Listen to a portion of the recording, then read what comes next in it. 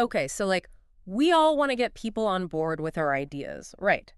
Who doesn't? Right. But how do you actually do it? Make them stick. Like that next level, you know? Totally. And that's what we're deep diving into today, this uh, this YouTube video, How to Persuade People. It's by Anita from Word Cortex, and honestly, some seriously fresh takes in there. oh, yeah. She's, she's, Yeah. So she starts off with this idea of like horizontal persuasion. Instead of going straight to the top, like the CEO, with your big idea, Right. she's all about getting your colleagues on board first. Yeah. What do you what do you think about that? It's huge. I mean, think about it. If you go in and you've already got like a team Yeah. of people who are like, yeah, we're into this, it's not just you anymore. Totally. It's It shows momentum. It's like you've got a coalition before you even like hit the boardroom. Exactly. It shows you're thinking big picture, how it helps everyone. Like that energy, Mhm. contagious. And that goes right into her next point, this idea of giving giving value before asking for anything. You know, that whole Gary Vaynerchuk thing. Jab, jab, jab, right hook. Classic Gary Vee. But like how many times have we seen that? For real. Someone's always helpful, offering advice, then bam, they need something and everyone's like, "Oh yeah, let's listen to this person." all the time. Aha. This one colleague, always going above and beyond, helping on projects that weren't even like her thing. Fast forward, what, a year later, Mm. She pitches this whole workflow overhaul And everyone's on board. because she put in the work, built that trust. Hmm. The asks just, they land differently when you've been giving. So true. Okay, but how do you walk that line? Showcasing your expertise, you know, to give your idea weight, but without sounding like a total, well, like nobody likes a know-it-all.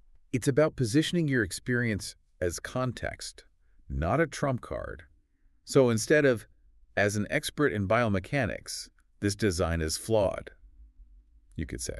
You know, my work in biomechanics has made me really aware of XYZ, and I wonder if this design could benefit from that. Nailed it. Yeah, it's like you're not hitting them over the head with it. It's just part of like who you are in that conversation. Exactly. And it's not just like what you say, it's it's how you say it, Right. right? Like your body language even. Oh, totally. That conviction in your voice when you really, you know. It's like that whole I know what I'm talking about vibe, Yes. but but not like in a cocky way. Not at all. More like, hey, I've been around the block, seen some things and And this just makes sense. right? Okay, so we've we've laid the groundwork, right? Built those relationships, shown them we know our stuff. Now, how do you get them to actually care about your idea? Okay. So Anita talks about this what's in it for them factor.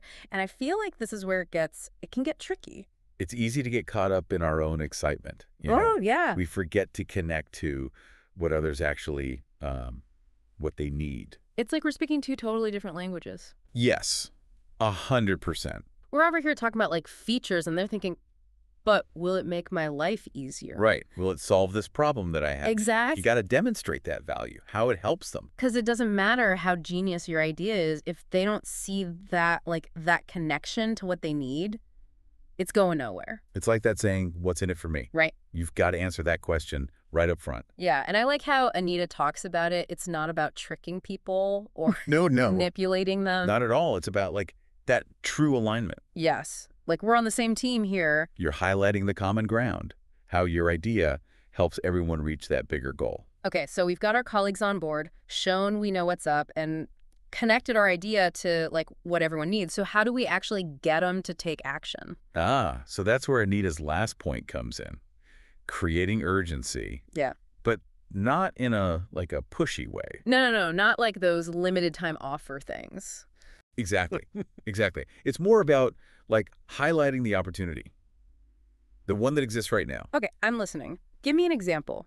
How do you how do you do that? Create that urgency without sounding, I don't know, desperate. Give me an example. How do you how do you do that? Create that urgency without sounding, I don't know, desperate. Okay, so say you're pitching some big social media campaign, right? Mm. To roll out at this like industry conference. Okay. Yeah. Instead of being, oh, we got to do this now, you could be like, this conference, it's a moment, right? Yes. A chance to really make a splash. Imagine if we launch right before we ride that wave of attention. Ooh, I like that. Right? It's like you're not pressuring them, you're just It's an invitation. yes, to Yeah. be part of something, I don't know, kind of special. Exactly. And sometimes the best way to create that urgency is by like subtly pointing out what happens if they don't act. Oh, interesting. Like like not even a threat, just Just a little, hey, here's what we could miss out on. yeah, like a Here's the whole picture. This has been so good. Really makes you think about persuasion in a whole new light, you know? Absolutely. It's not about like tricks, it's about connecting with people for real, which I dig. 100%. It's why people actually say yes, right? Mm-hmm. When something, it, it just clicks with their goals, what they care about. It's got to be genuine. Otherwise, they see right through it. That's so true. Mm. Okay, any last words of wisdom before we wrap this persuasion party up? Just, you know, even when you do everything right, not every idea is going to be a home run. Oh, for sure. And that's fine. Sometimes no just means not yet. Or maybe it's a wrong group of people. Maybe the idea itself needs a little, I don't know. Tweaking. Yeah, it's a process. And sometimes that no pushes you in a direction you never even, you know. Exactly. That's the good stuff. So good. Another deep dive in the books. Until next time, everyone, keep those ideas coming. And remember, you got this.